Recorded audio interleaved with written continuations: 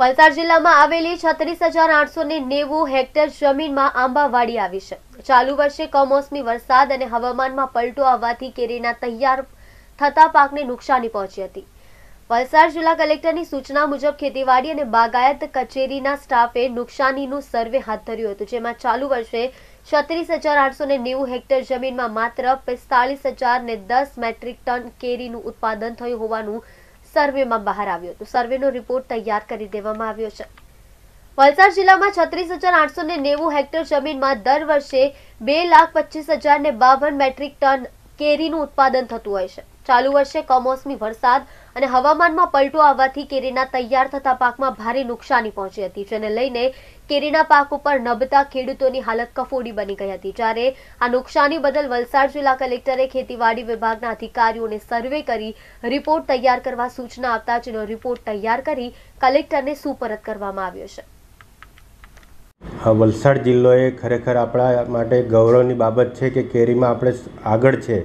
તો આપણા જિલ્લામાં છત્રીસ હજાર હેક્ટર જેટલું વાવેતર થાય છે. આમાં તમામ જાતો આંબાની આવી જાય છે અને એનું આપણે પ્રોડક્શન જોઈએ તો બે લાખ મેટ્રિક ટન જેટલું થાય છે અને આ આ વર્ષે લગભગ વીસ ટકા જ ગણીએ તો ચાલીસથી પિસ્તાલીસ હજાર મેટ્રિક ટન જ મળવાની સંભાવના છે. આ વખતે જે કેરી પાક નોર્મલ જે થાય એ પ્રમાણે થવો જોઈતો હતો પણ એ વાતાવરણને લીધે ખેડૂતનો પાક ખૂબ જ ઓછો થવાની સંભાવના હતી. તે પ્રમાણે માન્ય કલેક્ટર સાહેબ વલસાડે અમને સૂચના આપી કે જે એપ્રિલમાં સર્વે કરો અને જે પણ નુકસાન હોય એ સરકારમાં રિપોર્ટ કરવાનું થાય છે. તે તે મુજબ અમોએ નાયબ બાગાયત નિયામક શ્રી વૈજ્ઞાનિક મિત્રો, આત્માનો સ્ટાફ અને ખેતીવાડીનો સ્ટાફ સંયુક્ત ટીમો બનાવી, અમારે છ એ છ તાલુકામાં ટીમો બનાવી અંદાજિત ત્રણ ત્રણ દિવસ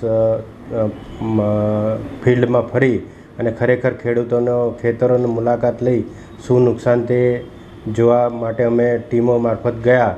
તો અમને જાણવા મળ્યું કે ખરેખર જે પાક થવો જોઈતો હતો, એ પાક વીસ વીસ ટકા જેટલો જ થવાની સંભાવના છે. અમુક ખેડૂત મિત્રોને તો એટલું પણ મળી શકે તેમ ન હતું. એનો સમગ્ર રિપોર્ટ અમે સરકારશ્રીને કર- કર્યો છે. તે મુજબ સરકારશ્રીનો નિર્ણય અનુસાર કે કયા પ્રકારનું પેકેજ અથવા ખેડૂતોને કઈ રીતે લાભ થાય, એ રીતે અમે એને લાભ આપીશું. ખેડૂત તરફથી ખેડૂત સંઘ અને જે આપણે વલસાડ જિલ્લામાં જે પદાધિકારીઓ મારફતે પણ સરકારશ્રીમાં રજૂઆત કરવામાં આવી છે કે વલસાડ જિલ્લામાં ખરેખર ખેડૂતો આઠથી દસ સ્પ્રેઇંગ કરે છે. એમને મોટો એમાં દવામાં ખર્ચો થાય છે. તો એને સરભર કરવા અથવા તો થોડું પણ એમને લાભ મળે એ માટે આપણે સરકારને વલસાડ જિલ્લામાં જેટલા બી પાકો થાય છે, કેરી પાકના જે ખેડૂતો, તમામ ખેડૂતોને આવરી લઈ એવું પેકેજ મળે એવી આપણે રજૂઆત કરી છે. તો એ પ્રમાણે સરકાર નિર્ણય લે એ માટે ઈચ્છનીય છે.